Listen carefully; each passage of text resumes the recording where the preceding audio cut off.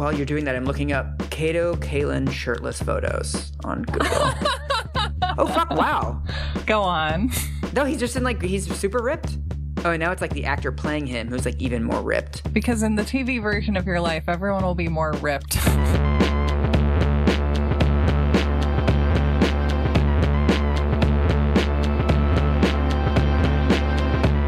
Welcome to You're Wrong About, the podcast that takes stories out of the pool house and into the main residence. Oh, I ah. love how you have all these like moving on up type taglines. I think anytime you let someone articulate their situation, that's a form of justice. I just want all of our protagonists to get their GED and go to community college and work in HVAC construction. That's what I'm trying to do. Bettering we're bettering the narratives of our youth. Oh, great. All right. Yeah. So you want the the Kaelin Barbieri Yeah. HVAC Institute. I am Michael Hobbs. I'm a reporter for the Huffington Post. I'm Sarah Marshall. I'm a writer at work on a book about the Satanic Panic. And today we're going to talk about Kato Kaelin. And I'm so excited because I decided this late last night as I lay abed thinking about what was truly in my soul. And it was Kato Kaelin. Yes. You're, you're jumping on with me. You're, you're joining me on this Yes. little time travel trip obsessively back and forth over the same period of five days in, in 1994. So what's the period of time we're going to talk about today? Today we are going to talk about Kato Kaelin, Mhm. the life of Kato Kaelin. Okay. So we're going back in time again, as we did with, with the story of Nicole to 1959, but Okay. we're, it's not going to take forever. And then we're going to talk about Kato's life with Nicole Mhm. and get as far as his life intersecting with Marcia Clark's. Can I ask you an essay question before we get started? I suppose. Okay. so the question I've been wanting to ask you ever since we started this Ooh. is what do you think happened? Hmm. The actual murders. And I know that it's hearsay and we'll never really know, but Yeah. as maybe the country's leading expert on OJ Simpson at this point, what is sort of your hunch and your feeling of just how the murders went down? I think OJ Simpson is the country's leading expert on OJ Simpson. Okay, fair. And that if we say publicly that I am the country's leading expert, Jeffrey Toobin will challenge me to a duel of manly arts, which I am very open to. So recently, as I was driving across the country, I was listening to an episode of the Nancy Grace podcast Mm. where Nancy Grace is like, shocking new footage of O.J. Simpson confessing to the murder of Nicole Brown Simpson. And then like siren noises probably. Mhm. Uh, apparently at one time O.J. Simpson was making a TV special to go along with the publication of his book, If I Did It, Oh god, yeah. which was a very cynical cash grab. Mhm. And and so the TV special that he was making that apparently was shelved and then brought back out many years after the fact and talked about on Nancy Grace Mhm. there's a recording of him saying, if, if I did this, if I did that, you know, I would have looked in Nicole's window. And then there's this part where like suddenly the if goes away. And he's like, and Nicole really did have a lot of candles all, she really did. I always used to joke it was that she wanted to keep utilities down, but Oh, Nicole really did have candles everywhere. that's really dark. and he just suddenly seems to go back into remembering committing the murders. And I was listening to it and I was like, I, I can't do this right now. I guess like had this visceral feeling of not wanting to listen to it. Hmm. But anyway, I know that, you know, for this, like I need to go back and listen to it in full and think about it and process it and think about, you know, how is he talking about the rest of the events? Cause he also maintained, you know, he had this theoretical person named Charlie there Oh. there was speculation throughout the trial, and people still speculate as to the idea that there was a second assailant. You know, how could he have killed two people at once? Oh. The answer is that it's, I don't think it's at all unimaginable to, to kill two people at roughly the same time. Mm. We have reason to believe, and, and the prosecution will later argue that Nicole was actually unconscious at the time he killed her Mm. because he had rendered her unconscious and then murdered Ron Goldman and then returned to Nicole. I kind of see it as when Ted Bundy does these similarly conditional descriptions of the murders that he did eventually actually in the first person confess to shortly Mhm. before he was executed, he talks about what he calls the entity, which is this thing that takes him over and that he feels has complete control of him Hmm. when he's stalking and, and killing someone. So I feel like if OJ is talking about this other person being with him, I can see that being Right. part of being able to describe it now only if he is able to outsource that to some other Right. figure, some other part of himself. Do you think because what we know from the police interrogation, it sounds like he went out to hamburgers with Kato. Yeah. And then there's kind of this half an hour, hour long period that he hasn't really accounted for. Much less than an hour. Yeah. Okay. So do you think sort of he came home from hamburgers and was just in a rage and went over there to spy on her and saw her through the window and ended up going inside? Or like, what do you think actually happened? Well, there, there's not a scenario I find most convincing. There are scenarios that I find equally convincing, I think. Mhm. So, I mean, something I have thought about is like if he was so accustomed to spying on her, right? If he Mhm. spent so much time looking in her window, you know, this is consistent behavior of his. He Mhm. watches her having sex with other men and then Mhm. harasses her about it. So it makes sense that he would say to himself, you know, after this dance recital where he felt that he had been pushed out and rejected by her and Mhm. made to feel this way by her, made to feel rejected, made to feel unloved. Mhm. But and then it's like would he go over seeking a confrontation or would he go over saying to himself, I just want to go watch like I do all the time Mhm. I mean, let me actually read you something. Mhm. In the entry in her diary for June 3rd, Nicole quoted the exact words of OJ's threat. Quote, You hang up on me last night. You're gonna pay for this, bitch. You're holding money from the IRS. You're going to jail, you fucking cunt. Holy You shit. You think you can do any fucking thing you want. You've got it coming. I've already talked to my lawyers about this bitch. They'll get you for tax evasion, bitch. I'll see to it. You're not going to have a dime left, bitch. Etc. No way. To me, the most heartbreaking part of all that is that she ends it with etc. Yeah, yeah, yeah, yeah. Like she's so used to this litany Yes. of abuse that just like blah, blah, blah. Blah blah blah, etc. and so Yeah. forth, as we Right. all know.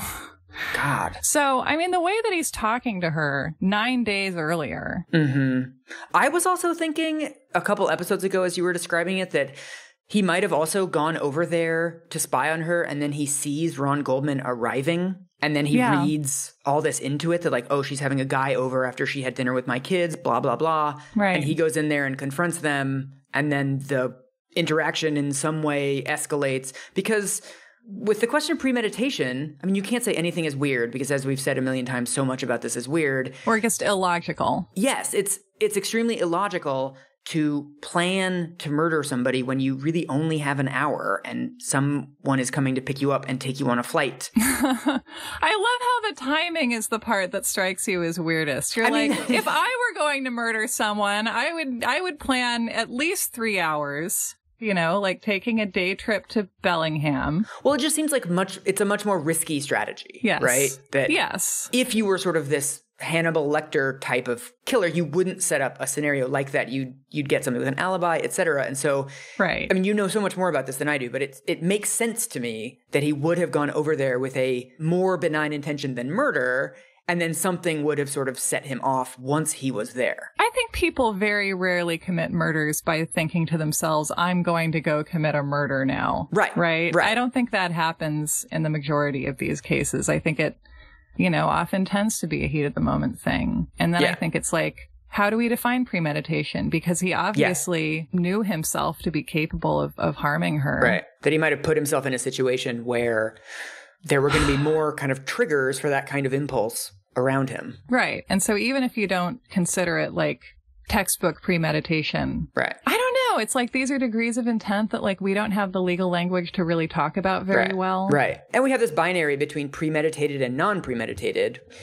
There's lots of ways you can put yourself into a situation where you know you're going to behave rashly, right? Like, Yeah. I think of all those letters to Dan Savage where people write in and they're like, oh, there's like a hot fitness instructor who I'm really attracted to, but I'm married and I don't want to cheat on my wife. But, you know, it would be awkward if I stopped taking her exercise class and like stopped getting massages from her, right? And it's like, well, you're putting yourself in a situation where like you kind of want to cheat. Right. You know, you're putting yourself in a series of situations where if you were to take a, a rational approach, you would be able to think it through and understand, like, I'm asking for my will to be compromised by the situations Yeah, I'm putting yeah. myself in. When maybe that means that I, I want this thing to happen, Right. actually, but I can't own that desire. So is that sort of your general theory? Yeah, in a, in a general way. And I, I can also imagine him. I mean, he had to have had a knife with him at, at the moment that things escalated. I think. Right. Like, I don't see a scenario where he like starts an altercation and then leaves and gets a knife and comes back. Right. Or grabs a knife from her kitchen counter or something. Well, yeah, I guess, yeah, that is, you're right. That's possible. Or she could have come out holding a knife. That seems unlikely to me based on what we've Mhm. seen before. But who, I mean, what do I know? Mm. I can also see him bringing a knife and just thinking, like, I'm not going to kill Nicole. Right. Or he could have intended to just threaten her, right? He could have brought it as like, I'm going to brandish the knife to scare her so she won't see other guys anymore. Right. I won't do anything with it. Like that could have been what he was telling himself on his way over there. yeah. And I think he also could have been telling himself that very loudly. Mm. Him telling himself that could be seen as evidence of the fact that on some level he's like, I kind of want to use this knife on Nicole. Yeah. Yeah. I won't do it, but right. I'm just going to have it. yeah. I want to go You to the buffet, but I'm not going to eat anything. Like my willpower will kick in at some point in the future. I mean, I think right. a lot of our planning as humans gives our future selves more credit than we give our present selves, right? You're like, oh, I'll be able to resist this later. Absolutely all of mine. That's why these calls always start 15 to 30 minutes late. okay, so that's sort of the working theory, but with a lot of the details still left quite murky. yes. I, I've learned from Marcia Clark's mistakes. I'm not going to commit myself to anything before I absolutely have to. That's fair. So, uh, yeah, rewind us. Where where are we meeting Kato? Yeah, yeah. Why don't you tell me every single thing you know or think you might know about Kato Kaelin? I will tell you that when I was watching Saturday Night Live when Mhm. I was like 11 years old, which was Mhm. my introduction to OJ Simpson, really, Yes. I have very few actual memories of the trial itself because I was Mm-hmm. six and seven years old at the time. Mhm. I remember watching Saturday Night Live reruns and getting a sense of what America at least thought it was. And what's interesting about that is that I don't remember learning who Marcia Clark was. I don't remember learning who Bob Shapiro was. I don't remember learning who Ron Goldman was. Yeah, that's totally true. Yeah. But I knew that there was a guy named Kato Kaelin. Yeah. And it was always interesting to me that, like, out of this clearly very big story with a big cast of characters and a lot going on, this sort of like doofy guy with a perpetually confused expression received so much coverage. Yeah, it is actually interesting. It's we seem to find this in a lot of these stories that people who play a very marginal role end up somehow being centered, like Fawn Hall. Right. Fawn Hall is totally the Kato Kaelin of Iran Contra. Yeah. Very similar hairstyles, also. Kato Kaelin also is interesting because he was like a male bimbo. Like he was yes. maybe one of the people in the whole OJ Simpson fiasco who got the most bimbo treatment. That's actually the most of what I remember him. I remember he was just kind of this like goofy dude who was around, but it never was clear to me what part he actually played in the murders. And I remember mentally at the time, I always replaced him with Fabio whenever anybody brought it up because they had kind of the same hairstyle. And it was, I think Fabio was the first time we had like a male bimbo figure, Hmm. right? Like a kind of airhead. He's buff, but he's dumb, etc. Yeah. He played that role. And for some reason, even though they don't really look the same, in my head, Kato Kaelin sort of was Fabio sitting on the stand. They were both wildly out of their depth in the 90s. I mean, Yes. Yeah, I mean, what do you know about Kato Kaelin? Like, tell me everything. Well, according to the previous episodes, you have learned me that he was originally a friend of Nicole's, Mhm. and she moved him into her guest house as a sort of, you know, having a guy as a buffer zone against OJ's abuse. And then OJ managed to OJ Kato from Nicole's house and Nicole's trust into his. And so eventually Kato ended up moving into OJ's guest house. And so mm-hmm. he becomes important because the night of the murders, he had hamburgers with OJ. And then later that night, he hears sort of vague thumps, something when OJ is returning, rushing home from committing these murders. So he's partly an alibi witness and he's partly a incriminating witness, I guess. Right, which is very interesting because he's someone who, at the start of all this, has equal capacity to implicate or exonerate OJ. Yeah. Totally, yeah. So I have, I think, the best possible introduction to Kato Kaelin prepared for you, which Oh, no. is a highlight reel Oh no. of, well, really of the whole movie, but prominently featuring Kato, of a movie he was in in 1987 called Beach Fever. Oh, I forgot he was like a actor. I totally Yeah. forgot about that. He did get opportunities by fraternizing with O.J. Simpson. Wow. But here's an example of what he was up to kind of in his prime. He made this when he was 27 or 28. Oh no. We're going to watch it together. Okay. this was straight to video, by the way. I'll bet it is. Three, two, one, go. Beach Fever. We're opening on women's boobs. There were so many movies in the 80s where just in the box art in the opening they were like, don't worry, you're gonna see lots of boobs. One boob. oh, there's Kato. He's oh, on his Kato? little motorcycle. Yeah. Oh, he's driving a motorcycle, and there's a dude in the sidecar. The main characters in this movie are Kato Kaelin's dude and an Asian American stereotype. Oh. Oh no, yeah, he's speaking like replacing his R's and L's with like a really offensive accent. Yeah. Oh. Kato Kaelin reminds me of like Kevin Bacon in Tremors a little bit. Oh, his hair is so he has like the Rachel. Yes.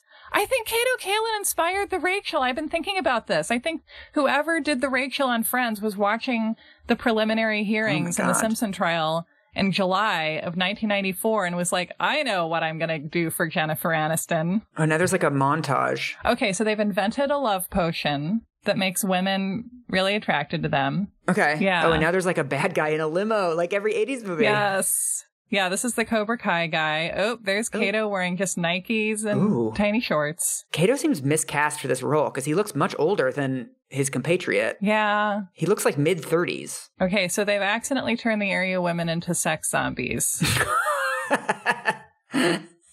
of course. Oh, and there's. Oh, yep. It worked out for Kato. That's and then the movie. we had like an eight frame shot at the end of Kato walking away with his arm around a girl. Yeah. Woo. That's what his career has been to this point. Straight to video, high concept, racist comedies. yeah, but like I don't know. What did you think of his uh, his presence in that? I don't know. He's he's cute. He doesn't necessarily like command the screen necessarily. No. He's not like I can't take my eyes off him kind of person, but he seems a sort of Luke Wilson type of actor where he's just like Hmm. he's there, he's fine. He's just kind of like the guy they need for movies sometimes that are about women.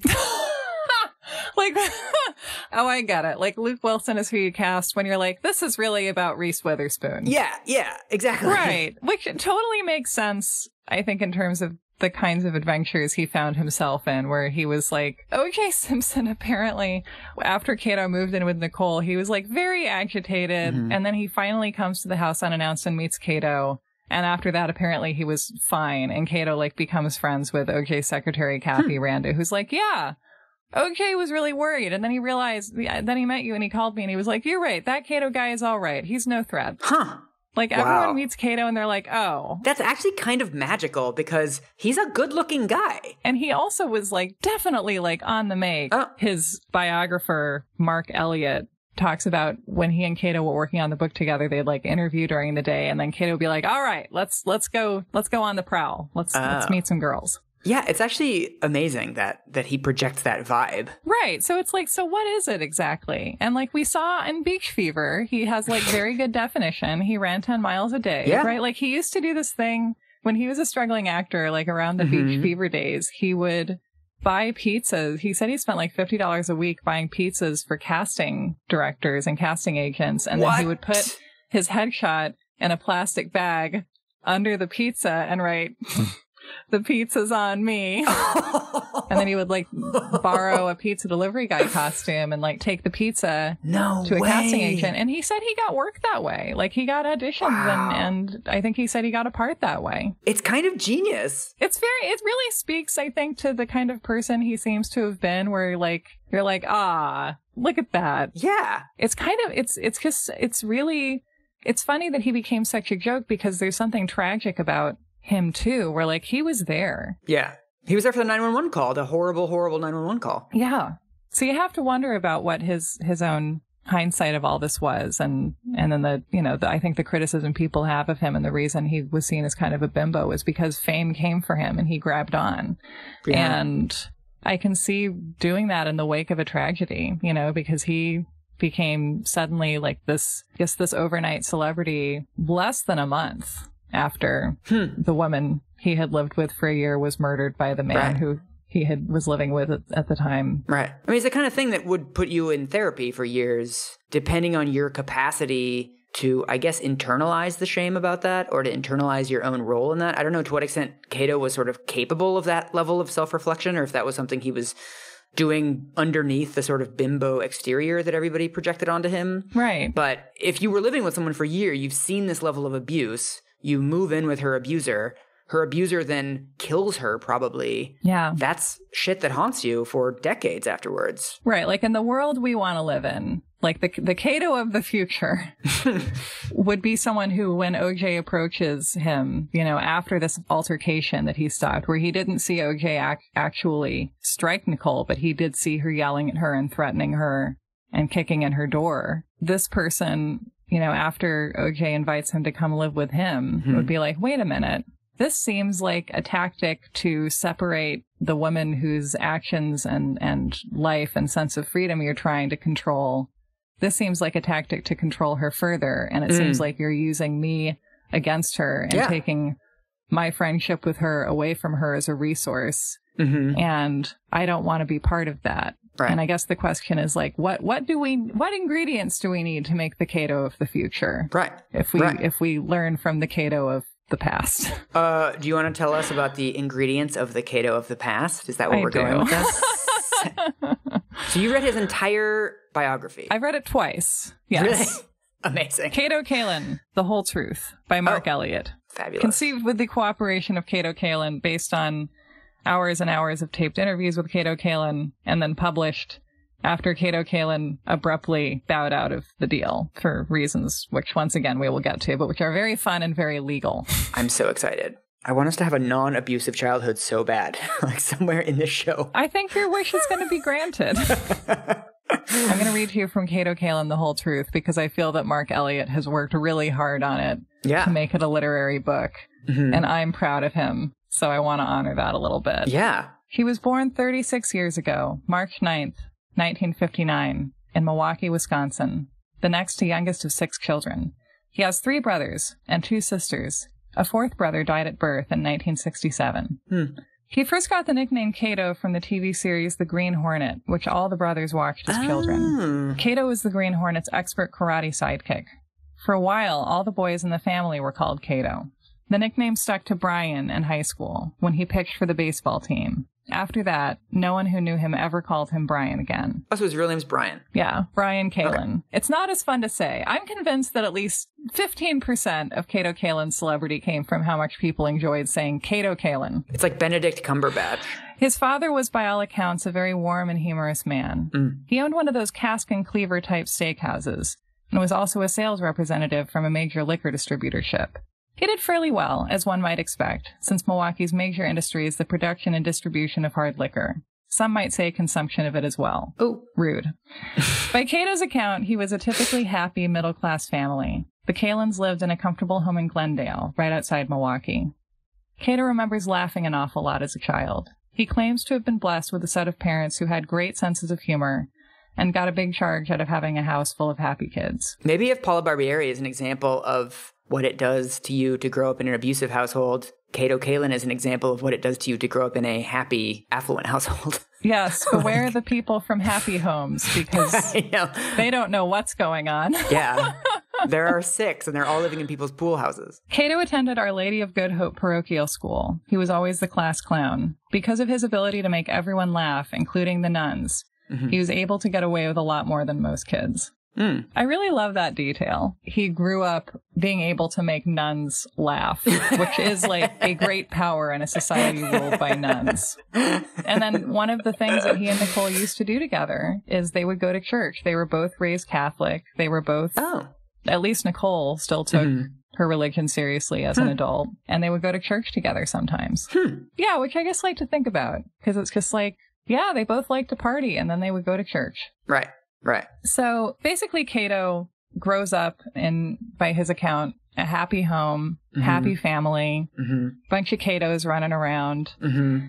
And his journey is that he's like, I want more. Mm-hmm. I want to be the big Kato, Yeah, the, the the best Kato. the best Kato. I, I want to go forth and entertain people. Mhm. He decides he wants to be a comedian, and if that doesn't work out, he'll try being a professional baseball player. Oh, okay. These are the thoughts we have when we are very young. Yeah, these are very like after school special aspirations. This is great. So yeah, and he was a good athlete when he was a teenager. He made the varsity baseball team his freshman year of high school, hmm which is a big deal. Okay.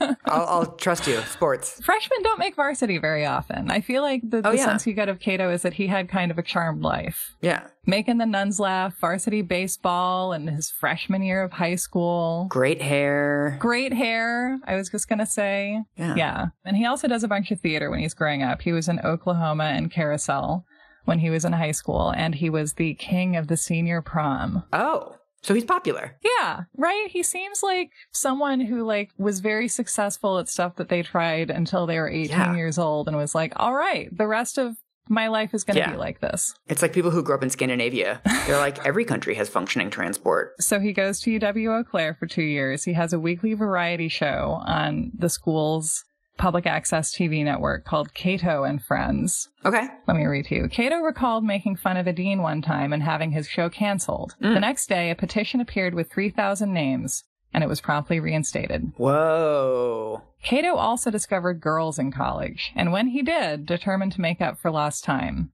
He used, you get the sense that his upbringing was like very Catholic. Mm. He used to go from dormitory to dormitory in search of his next great conquest. In his freshman year, Kato developed mononucleosis, Mm. the so called kissing disease, which, being a good Catholic, he took as a direct warning from above. Hmm. That's when I decided that no matter what, I would not actually sleep with a girl until I got married. And that was one promise I kept. I stayed a virgin until, at the age of 23, I met a woman who was to become my wife. Wow. What a waste of a torso. That's actually interesting that he had like a brief period of womanizing and then settled down very early. Very, yeah. And then this marriage didn't really last, but he attempted to rein himself in and be like, no, I'm going to be the kind of man I was raised to be. Mm-hmm. And I have done too much kissing. and then spring break the sophomore year in 1979, he and a buddy go to Redlands, California. He's never been to the West Coast before. Mhm. And he arrives and looks at the mountains and looks at the fact that it's 80 miles from LA Mm. and is like, I'm going to come back here. I'm done. It's time for Kato to go west. Mm. And so he basically goes back home long enough to get his stuff together and then drives west with $900 in his pocket in the summer of 1979. So he doesn't graduate from college. He goes to school in California. He goes to Cal State Fullerton. Mhm. He stops eight credits shy of graduating Okay. because he's basically putting all of his energy in trying to make his show business career happen. Right. Right. And the job that he gets immediately after getting to California and the, the industry that he is in for several years is like comedy waiter. oh. I didn't know that was like a special kind of waiter. The jobs Kato gets is basically like you can say whatever you want, you can do whatever comedy stuff you want, just like bring them the food they ask for. Oh, so he's doing comedy and waitering? Yeah, he's a waiter who who, who he waits on you comedically. What? Wait, what? this sounds this sounds insufferable. What what are these restaurants? Do you think millennials killed the the comedic Ah. waitering industry? Like that's another thing we killed and we didn't even notice it. Ah, so somebody comes to your table and they're like, "What's the deal with Brussels sprouts?" Do you want to hear an example? Oh my god, please! From this Kato's sounds book? miserable. Okay. Yes. Okay, so this is about a place called Bobby McGee's in Brea where Kato works. Windshield wipers slap in time. And Kato says, My routine went something like this. I go over to a table of customers, introduce myself, and say hi. Our special tonight is lobster tails, 50 cents a piece. Really? Sure. Once upon a time, there was this lobster. Oh my god. It's like dad jokes. Yes. And not great food, probably. You get the sense, and this is what people say about what Kato is like to be around, that like, he wasn't that funny, but he was just always trying. Like, he was always telling little jokes and stuff. And his testimony during the preliminary hearings and then the trial Oh, no. really speaks to that. Oh no. What? He's doing puns in a murder trial? no, there's like, you know, he's asked, wouldn't you think that OJ could get you parts in, in movies maybe. And he's like, we weren't going out for the same parts. Okay. When you watch his testimony, you're like, oh yes, this is like a career comedy waiter doing his best to be serious. Oh my god. That's the meanest thing you've ever said about someone on this show. I don't think it's mean. I love that he was a comedy waiter for so many years. I think that that would really affect how you relate with people. I mean, I'm glad Kato liked doing it. Yeah, he seems like an extrovert. He seemed to really like the, the comedy waiting. Yeah. And at the time, he's also trying to make his comedy career happen. And so he would drive to clubs like the Comedy Store Mhm. in LA on their open mic nights and get there at 6 p.m. and wait to go on at 2 in the morning. No way. And he said he'd perform for like three people and, quote, I'd wind up buying breakfast for them after the show. I got absolutely nowhere at an incredibly slow pace. Nice. So I feel like this would be like a great, slightly bleak, but also fun indie movie. Yeah. It's so interesting because this could also be the plot of like a super dark movie, right? Of like some like incel dude. Yeah, he could be the Joker. Yeah, right? Like this could be a story of like desperation and dash dreams, but it sounds like Kato is such a sort of upbeat dude that he's enjoying it or like making the most of it. It sounds like he just has like a great attitude about everything. This is why I identify with Kato. Mm. This sort of like untoward optimism, you Right. know, and just this sense of like, I don't know what's going on. I'm totally out of my depth. And Right. I, I probably won't be helpful if you like really need someone helpful, but Yeah. I'm doing my best and I care about you. I saw a bumper sticker once that said, I'm smiling because I don't know what's going on. I feel like that's somewhat what's happening. So he marries Cindy, who's the woman who he's saving himself for. Mhm. They meet and get married, and his family comes out from Milwaukee for the Mhm. wedding. And the night before, he's talking to his dad about how you know I I don't I don't think I want to get married. I don't think I'm ready to get married. This might be a bad idea. And his dad's like, No, no, we're all here. So just get married, champ. I already used my miles. No one wants to get married anyway.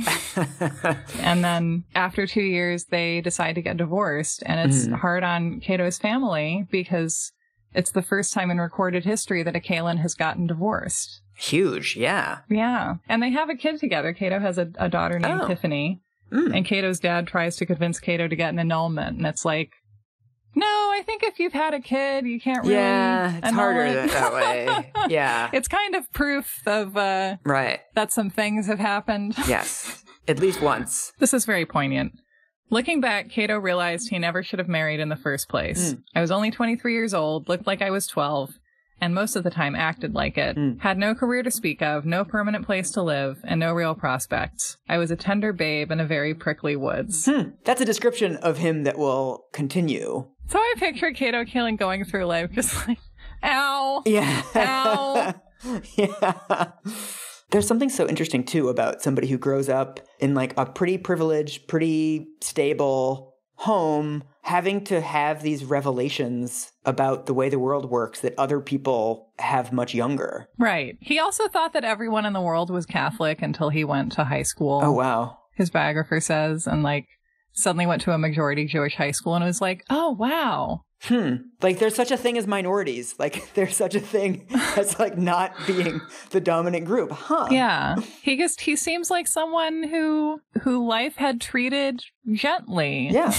I mean, it's sort of sad that like so much of the way that we form our personalities is in response to hardship. Yeah. Like you don't want to like wish hardship on people so that like they'll be cooler No. or whatever. But it's also so interesting that these sorts of hardships that he's experiencing in his 20s are like what a lot of people are experiencing when they're 11. Yeah. I really see the kind of like, the great innocence of American ambition in a way in Kato Kaelin. Hmm. Because I think what the, the fact that we forgot but have kind of retained the effect of is Mhm. that Kato Kaelin was kind of aging out of the life he was in. He was 35. Yeah. when he fell into the spotlight, which is like 35 is not 25. If Yeah. he had been a 25 year old beach fever pizza delivering comedy wait staff guy, I think he would have been received differently. Hmm. He did get a lot of flack in the media for just the fact that he was a, gro- a grown man whose career was like babysitter slash around the house guy. Yeah, when they mint a millennial coin, he should be on it. It's like the first millennial. He's like the pioneer. The millennial Magellan. According to him, he has on multiple occasions the experience of getting cast in a big commercial. It's going to be a big campaign. He'll get residuals from it. and then his part is cut from it. Okay. So he's one of, I th- one of those people who I think there are a lot of people like this who are like always almost making Right. it in an industry, like always feeling like they're like about to break through. hmm So you're close enough to making it happen that it's like you can convince yourself that it will happen. Yeah. And then in 1987, he makes Beach Fever, Mhm. which is like his biggest project so far. And he befriends the director of the film, hmm who later on introduces him to a guy named Grant Kramer hmm because he's making another movie called Little Red Corvette and he wants Kato and Grant to team up and cast it for him, basically, which is how Kato gets into the casting business. And also ultimately how he meets Nicole because he meets her in Aspen when it's Grant's idea for them to go there for New Year's. Oh. So Kato and Nicole, in a way, were brought together by Beach Fever. Yeah, so Kato and Grant Kramer drive to Aspen on Christmas morning Mhm. of 1992. So on December 30th, they crash a celebrity party at the Ritz Carlton. Mhm. It was a very exclusive affair filled with the upper echelon of Aspen players, movie stars, producers, directors, the Donald Trumps, Oh God. and other regular members of the rich and famous cast. Grant and I decided to sneak in through the kitchen. We got dressed in our best clothes and simply rode up with the waiters in the service elevator. Hmm. Nothing to it. Couldn't they get invited to these parties anyway? I mean, if his partner is like kind of a mover and shaker dude. Well, but like a mover and shaker with the Beach Fever filmmakers. Oh right. We were into talking to as many great looking women as possible, Kato said. At one point, Grant saw someone he thought he knew. It was Nicole Brown Simpson. The book says Grant had been introduced to her at a party at O.J. Simpson's house a while back. As soon as he saw her, he went for it. He told Kato he had, quote, always wanted to do her. Oh. I know. They went over, said hello. Grant introduced Kato to Nicole. It was obvious that although Grant thought he knew her, neither she nor the friend she was with, Faye Resnick, remembered ever having met him before. Nice. It didn't matter, though, for within minutes they were all laughing together as if they were old friends. One of the weirdest things about being super attractive is that everybody remembers meeting you. Yeah. I feel like that would be very surreal. Yeah.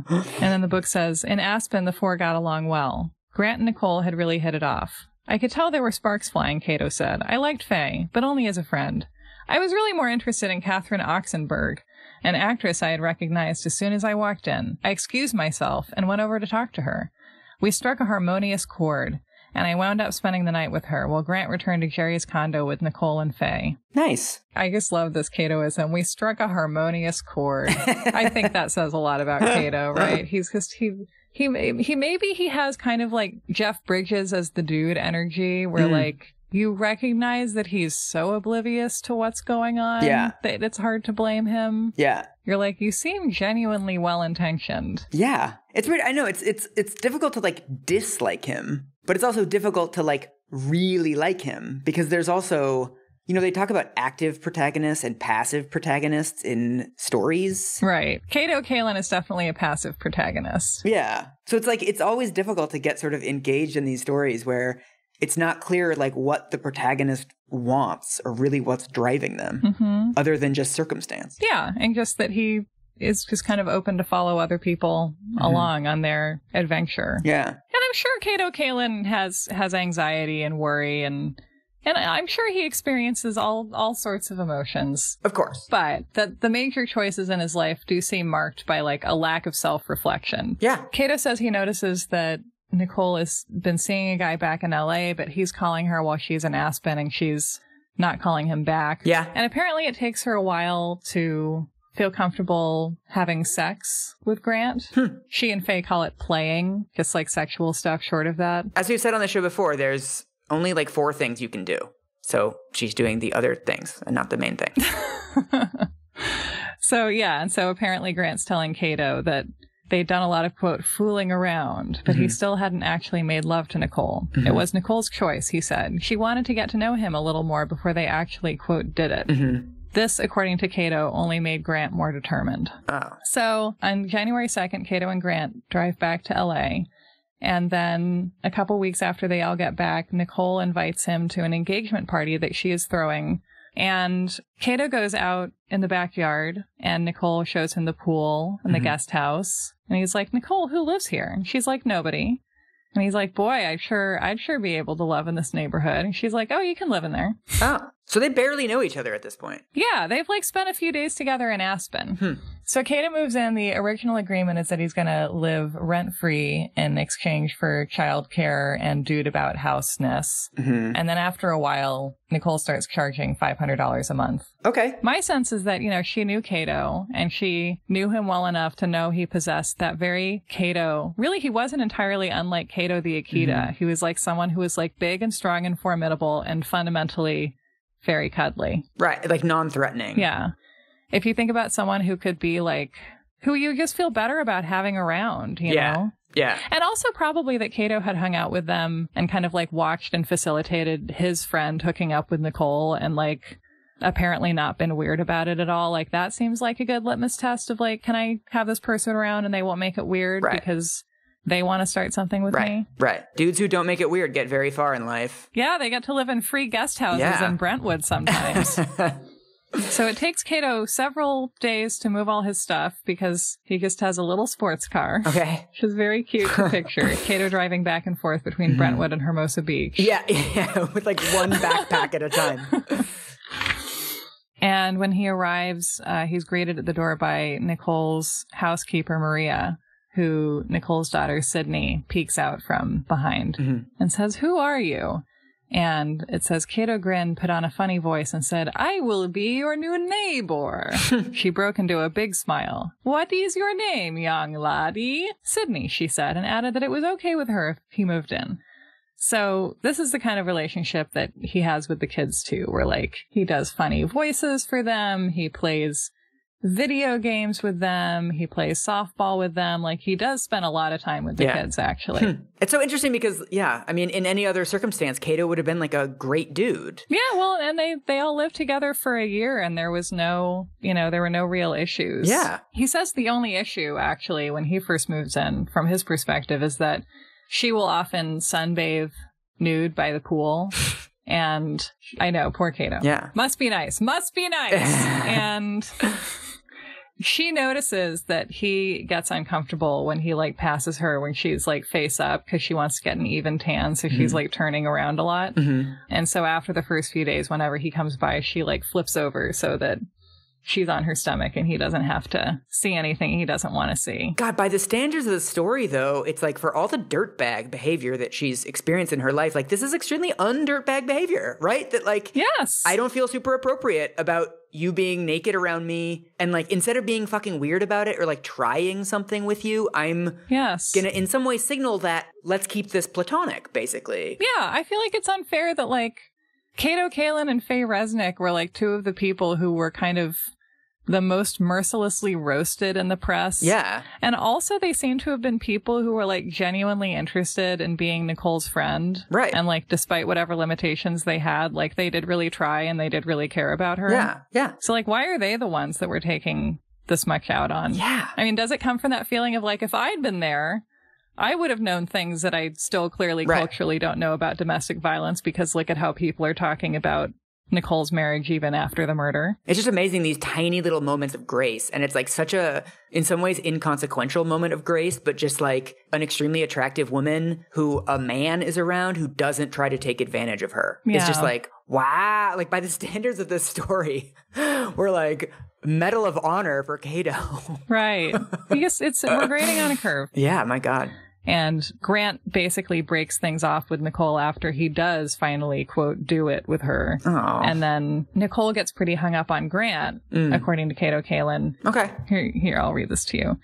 Grant invited Kato to a party to watch the game, and Kato asked Nicole if she wanted to come along. It apparently never occurred to him that Kathy's presence might create a problem. Kathy is Grant's new girl. Sure enough, when Nicole showed up, she became annoyed when Grant paid more attention to Kathy than to her. Oh. And when she and Kato got home, she said she wanted to talk to him about what had happened. It was the beginning of a new phase in their relationship, one in which Nicole would confide her innermost secrets to her new houseguest. That night, she told him that for the first time in her life, being at the party had made her feel self conscious about her age. Hmm. After all, she told Kato, she was in her early 30s, and Grant's girlfriend was only 19, 20 tops. oh. Nicole said she felt like she was not only the other woman in Grant's life, but the older woman. Hmm. And that's when she tells Kato that she doesn't want Grant coming over ever. Hmm. And that's also when he kind of proves himself as someone who she can be like, hey, like, please don't do this. Right. Like, here's how I feel about this, and this Right. is why I want you to do this. And he's like, okay. Right. I mean, it also illustrates sort of, in some ways, his obliviousness. Yeah. That he's like, this will be totally fine. Why Yeah. would. Because if I went to a party that my ex were having with their younger, more attractive Yeah. new partner, I don't think I would care. Yeah. Yeah. I'm Kato Kaelin. right. Yeah. I was a varsity baseball player when I was 14. Yeah. Yeah.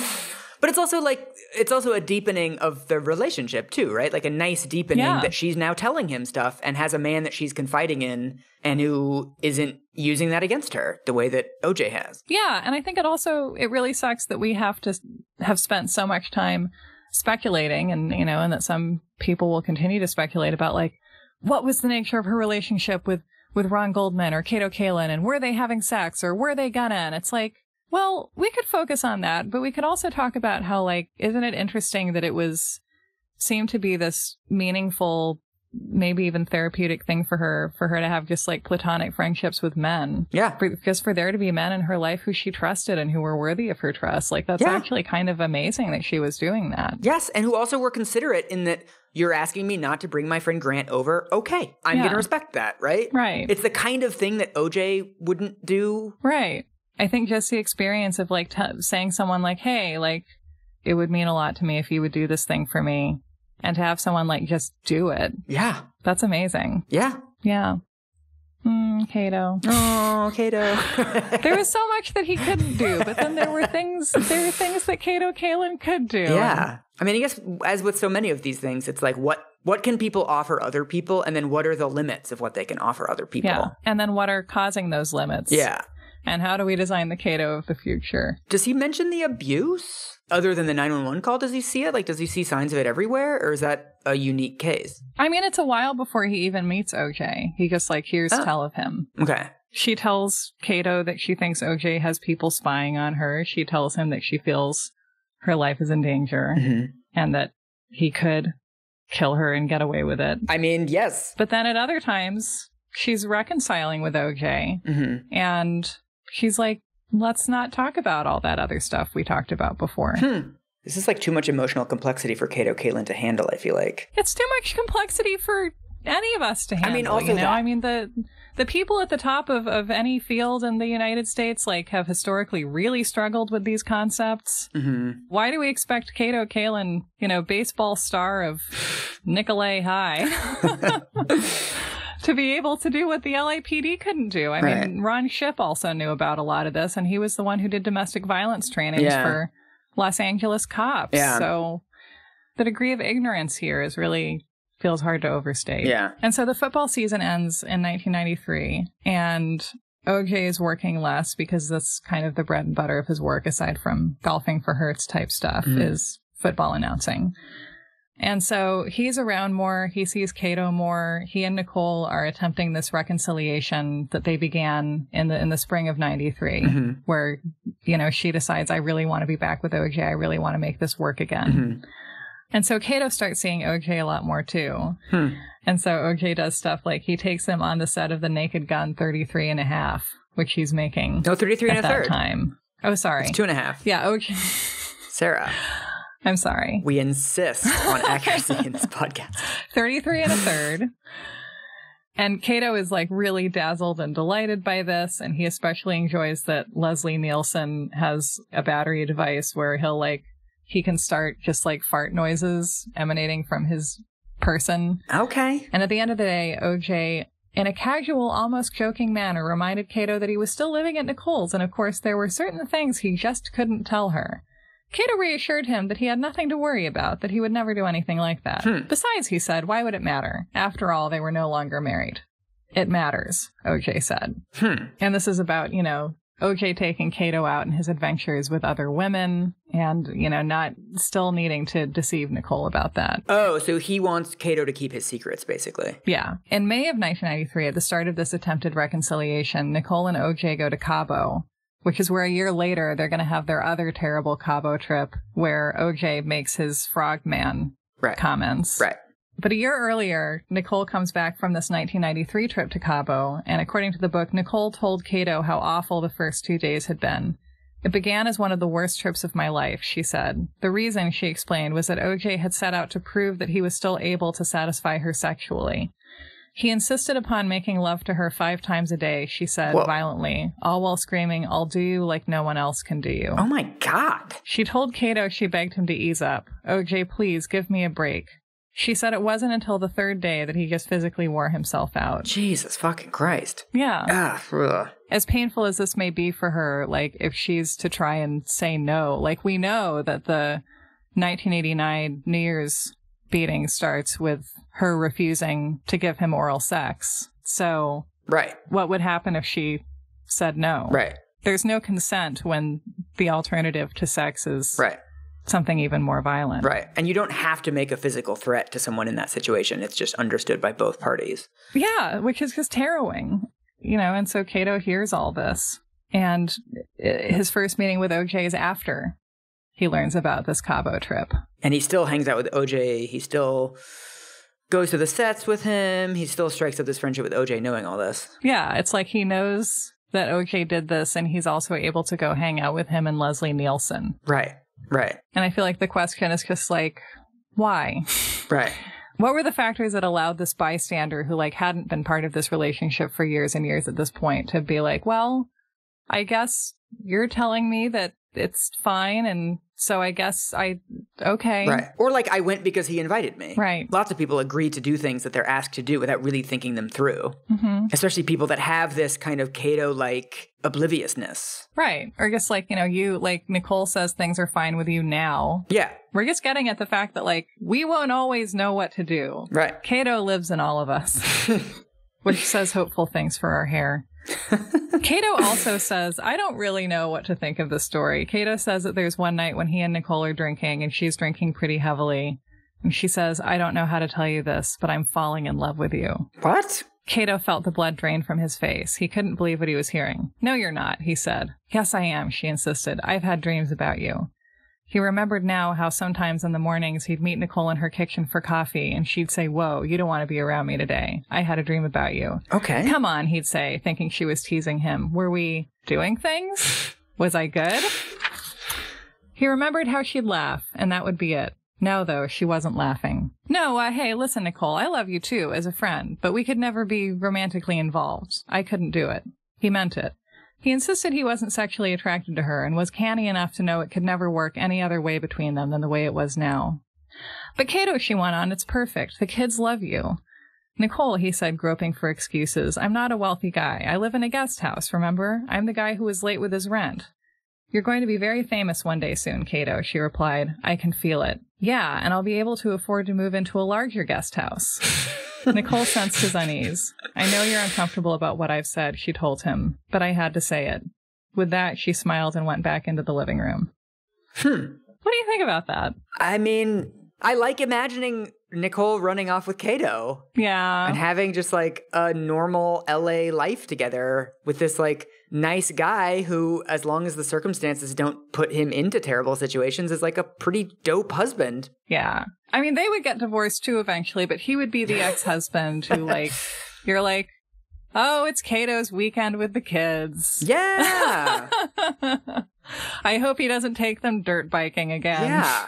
For all his faults, it doesn't seem like he has temper issues, impulse control issues, violence issues. It doesn't seem like he would be an agent of chaos in anybody's life. When I first read this, my first thought was like, hmm, did that really happen? I've never, and also because other people were like, oh no, yeah, she wasn't interested in Kato. Nope, no tension between her and Kato. Right. Do do do. I think because of that, I was like, did Kato Kaelin just throw this in here just as a self-aggrandizing Mm. thing? But now, reading it again this week though, because I spent a couple days like in this book, really, really thinking about Kato Kaelin, I was like, you know, I believe that. Like, it does seem to me like completely possible that like if you're living with this guy who's like sweet and harmless and ripped and loves Yeah. your kids and your kids love him and there's a scary guy chasing you around that you know even if you didn't necessarily have like a ton of romantic tension with him at any other time would have a moment of like Kato just like ah fuck everything. Let's just Yeah. you and me. Yeah, I mean, it's not nuts. You know, like people are attracted to each other in some moments and Yeah. not at others. yeah. These are like Yeah. two hot people Right. doing hot people stuff. But you know, the on again, off again reconciliation continues between Nicole and OJ. hmm And then Kato talks about the incident on October 25th, 1993, that we heard part of in the 911 call. Right, when OJ came in and kicked in the back door. Yeah. Nicole is on the phone with the 911 operator, and OJ is terrorizing her. And Kato, at first, decides to just head to his guest house. And then before he closes the door, he takes another look and decides he needs to go Mhm. in and, and try and calm OJ down, which he does. And he kind of distracts OJ. And when the police come, they ask Kato to fix the French doors that OJ has kicked in. Mm. And Marc Eliot writes After the police left, Kato continued to try to make repairs while Nicole, still upset, began talking. Mm. She said she couldn't believe the kids had slept through the whole noisy altercation. When she was still married to OJ, she told Kato they used to fight all the time in front of the children. Mm. It got to the point where Sydney, in Nicole's words, was so used to the fighting it became a normal part of her life, which is why Ugh. she had to have a security blanket and continually sucked on her fingers. Aw. Kato asked Nicole what had happened to provoke OJ into, quote, the kind of rage I'd never experienced before. Absolutely nothing, she said. OJ's just, we're fighting again. She told Kato OJ had come over a few nights earlier and had seen some photos of her and a man she used to date on the den table. That had kicked off a new round of fights between them. This is the man who's sleeping with a photo of Paula Barbieri nude Yeah, by his bed. right. And probably cheating on Paula Barbieri with other people too. Yeah. In light of OJ's repeated concern for what Nicole is doing while the kids are sleeping upstairs, the kids are sleeping upstairs at Nicole's house the night that she's murdered Mm. outside her front door. Mm. Do they hear anything? What what what happens with them? Officer Riske finds them sleeping, apparently sleeping in their rooms when he is the first officer at the scene. hmm And then after the murder, do they go live with OJ's sister or something? Like what what what's the custody situation afterwards? They live with Nicole's family Okay. after OJ is taken into custody. I wish there was some way for courts or somebody to order that like some people shouldn't be famous. I feel like with kids like that that go through something so terrible at such a young point in their life, I feel like the best thing that everybody can do is just like unfame them. like a witness protection program. Yeah, the way we do with like the sons and daughters of presidents. Right. I wish there was a way for everyone to just get together like a Slack channel and just like we're going to leave these kids alone forever. Yeah, that's what the Illuminati should be for. I know. I It's know. just like talking about who we're gonna leave. I know, and also like if Sydney Simpson wins a flower arranging competition today, the headline will be Yeah. like "daughter of this tragic situation." yeah. So after Nicole and Kato talk post fight, Kato goes back to his guest house, and OJ calls and asks him to come over to his house and have a little talk about what just happened and what Kato just saw. Oh wow, like the same day? Yeah, that very night. Oh wow. And Kato says, OJ, I don't know. Let me call you back.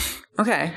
And then he goes to the main house to talk to Nicole and told her about OJ calling. And she, in his words, freaked out.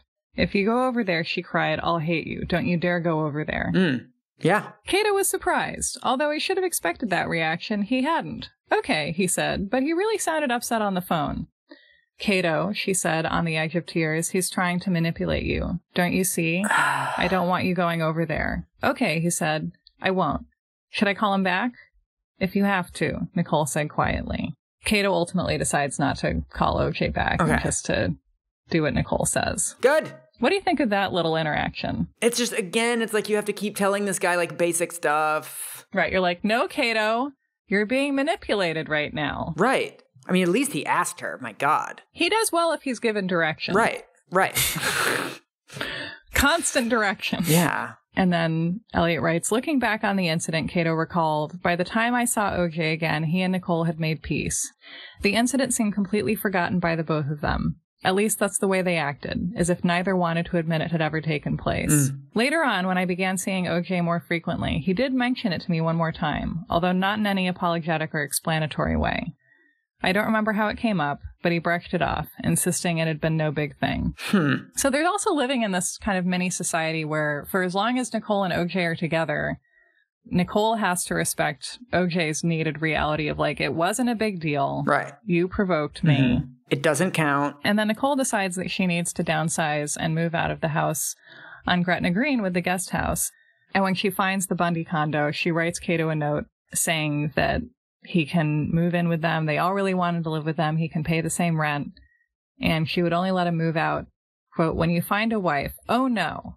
She signed the note, love me. Aw. At the same time, OJ is talking about maybe selling his house on Rockingham and moving Nicole and the kids to Florida Okay. and starting a new life there, which to me is a little bit sinister given the context of what we're seeing from this reconciliation with him trying to kind of control her friends and Yeah. spy on her and follow her. But they don't do that. She does decide to move into the house on Bundy. And then we're going to jump ahead to Kato's testimony in O.J. Simpson's trial, March 21st, 1995 Mhm. being questioned by Marcia Clark.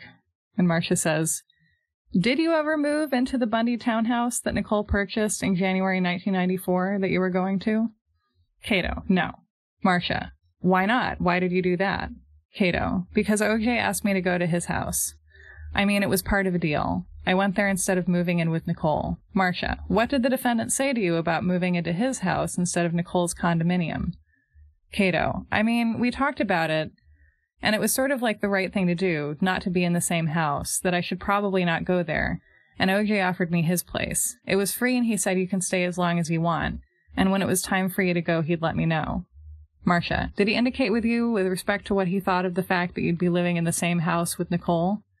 Kato, didn't like it, but it probably wouldn't be right. So again, he asked me to do it. I didn't really think it through. Right. According to Kato, he's already thinking, I'm not going to have my own little dwelling anymore. I used to have a lot more privacy. Yeah. And at the same time, OJ is like, listen, I just don't think it would feel right for you to be living in the same house. According to OJ, like, that's where he's going to draw a line. And Kato's like, sure, I understand. I was kind of maybe not super keen on staying there anyway. So can I just stay at Nicole's until I find a new place? Because I do have to find a new place now. And OJ's like, oh no, you can live with me. Oh. And Kato's like, well, I can't afford to live with you. And OJ's like, just come for free. In Kato's mind, it's it's probably just an uncomplicated lateral move. I'm going from one place to another. This one has lower rent. Maybe it's bigger. Maybe there's a better TV or whatever. And I think he's also like primarily looking out for Kato. Like I think Yeah. in, maybe in the moment he's like, I kind of wanted to find a new place to live. This is a better deal for Kato. Like in these like big decisions, like we do tend to maybe think that way first. Yeah. And according to Kato, he goes in to talk to Nicole and says, Guess what? OJ doesn't feel it's right for me to move in with you and the kids. So he's offered to let me live in his guest house for free. Oh my god. Isn't that great? Oh my god. And Nicole says, He's manipulating you, Kato. Don't you see what he's trying to do? Kato, think it through. Kato claims he couldn't believe what he was hearing and couldn't understand what she was so upset about. Apparently, the idea of betrayal never entered his mind. Instead, he tried to explain to her how perfect this seemed to him. But Nicole didn't want to hear any of it. She became extremely upset and cut short the discussion. Kato went back to the guest house and started packing. A few minutes later, Nicole came by to tell him she was sorry for blowing up, that she was okay with his moving in with OJ, and that she wasn't even angry for him for doing this to us. She said, Every time I make a friend, he takes them away from me. Mm. And then apparently, a little later, Nicole's friend Cora Fischman comes over, and Kato's talking to Cora about how Nicole's much more upset than he thought she would be. And Cora says maybe it's that Nicole was counting on him for the rent money every month. And he's like, Oh. Oh my god, Kato. And he goes and talks to Nicole and is like, Wait, Cora said that you might need me for the rent money every month. So if that's true, I'll go, I'll, I'll live with you. Like, I understand. And according to Kato Kaelin, the whole truth, Nicole, without emotion, said to the house guest she had once declared with happiness and conviction she'd wanted to be friends with for the rest of her life. It's okay. Go live with OJ. Aww. It's so sad that she is perceiving the situation exactly as it is. Right. I mean, as in so many chapters of her life, it's like she gets it. Everyone Yeah. around her is like, oh. Yeah. No one is able to take her seriously when she's Yeah. just stating the truth of what's going on. Like, he's manipulating you. He is taking you away from me. hmm he is taking one of my strengths and turning it into one of my weaknesses and you're letting it happen. Yeah. And this is what always happens. Yeah. You can feel her like deep sigh just sort of watching all of this of like, of course, right? Like, of course, Kato is leaving. Of course, Kato is leaving to move in with my abusive ex husband. Like, of fucking course. Yeah. And like, why would I think that I could possibly have someone on my side? Like, Right. why even try? Right. I feel like what's saddest for me about thinking about that little moment is that Kato actually like kind of cluelessly signs on for this clearly bad idea and then is like think and then actually thinks about it for a second. Yeah. Is like, oh. Oh, Nicole, I'm sorry. Like I I'll totally live with you. I didn't realize you might be counting on me. Right. You know, and he's thinking of rent. Yeah. But like that could be a stand in for anything. And she's just like, no, Yeah. just go. Just go. the kind of privilege that you need to go through life this oblivious is really fascinating. Yeah. Is like a sort of easily attractive, friendly varsity baseball team kind of guy. Right. You're just like, I just do what people tell me to. And then when they tell me, like, hey, that was mean, I'm like, hey, okay, sorry, it was mean. But he's never thinking of what does it mean for me to move out? or that he's like like so many other people in the story he understands that they're like he sees that he sees the way OJ is breaking into her house so she's making this 911 call he sees this fury in him that he says is unlike anything he's ever seen before so like he's registering what's going on he's not like Yeah. oh oj's just got kind of a short fuse but it's fine like it seems like he's genuinely scared of him Right. but just, you know, in the absence of overwhelming evidence to the contrary, is able to be like, well, I think, but in the end, it's fine. And they're reconciling, and Nicole's not in danger. Right. I like, I wonder if, like, how much of this is denial and just the desire to believe that, like, if people say things are fine, that they really are fine. Right. Right. I also wonder, like, how many of America's lawmakers are essentially Kato Kaelin, where, like, they're not bad people. They don't want to do bad things in the world, but they are literally or spiritually former varsity baseball players from Glendale who just are well intentioned and need to be given direct instructions about every thing in life that doesn't pertain Right. directly to their interests, you know, who just like Right. so many of the people and who inhabit roles in America where they really do need to understand abuse dynamics and they really do need to understand what it means to have a complex set of obligations to the people around you and to your community and you know, who just it's not a willingness thing, it's a capacity thing. Right. It's also so interesting thinking about it in context of what we consider to be the bystander effect, right? Where there's this Right. myth that all these people watched Kitty Genovese get stabbed to death and sort of shrugged and didn't call the cops.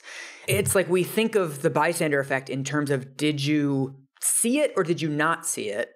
Whereas there's also things like this where it's like he did see it, but he didn't contextualize it. Yeah. He saw what he needed to see, he just didn't do anything about it. It's so mu- life is so much less scary in this weird, dark forensic files informed worldview where you're like, people have the capacity to save each other, but they choose not to because they're evil. Like, Right. that's much less scary. Yeah. I think this world where all these like hyper competent yet evil people are walking around Right. where it's like, no, the world is just full of Kato Kaelins. Right. The right. worst things that happen in this world happen because of just doofy people with a lack of capacity for what they're really needed to do in the moment when they're needed. Never trust good baseball players. Boom. Don't trust the prom kings. Yes. They probably don't want to hurt you, but maybe they can't help you very much either. yes. Is that where we're stopping? Are we done? Yeah.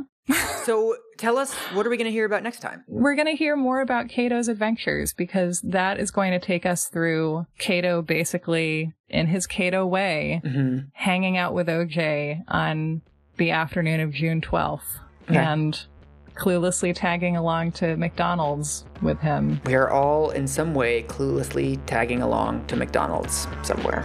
Merry Christmas! Merry Christmas!